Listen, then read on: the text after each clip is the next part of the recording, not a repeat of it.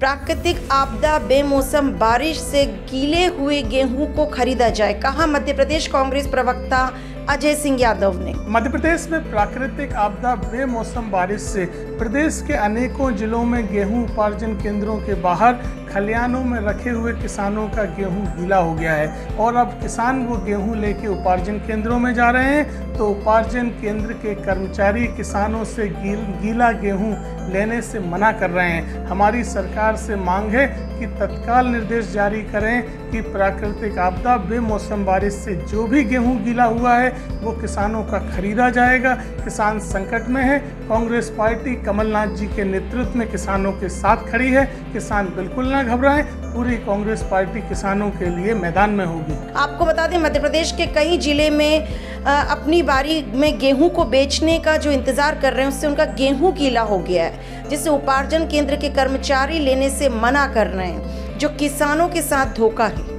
इसलिए हमारी भाजपा सरकार से मांग है कि मध्य प्रदेश में बेमौसम बारिश में गीले हुए गेहूँ को किसानों से बिना रोक टोक के खरीदा जाए। उन्होंने कहा कि किसान भाई निश्चित रहे। प्रदेश कांग्रेस अध्यक्ष कमलनाथ ने कहा कि कांग्रेस पार्टी उनके साथ खड़ी है। यह जडा न्यूज़ की आपसे अपील, कृपया मास्क लगाएँ, सैनिटाइजर का प्रयोग करें। घर पर रहें, सुरक्षित रहें।